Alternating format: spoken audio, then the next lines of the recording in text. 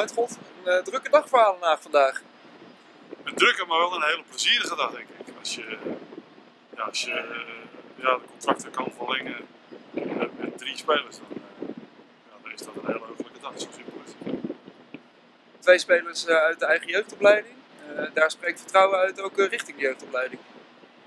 Ja, maar ik denk dat dat ook heel belangrijk is voor een club als Den Haag. Ik denk dat je, dat je als, ja, als jeugdspeler of als supporter moet je je kunnen vereenzelvigen met de club. En wat is er beter dan je eigen jeugdspelers laten uh, doorstromen naar het eerste elftal. Daar moet je wel een bepaalde kwaliteit voor hebben.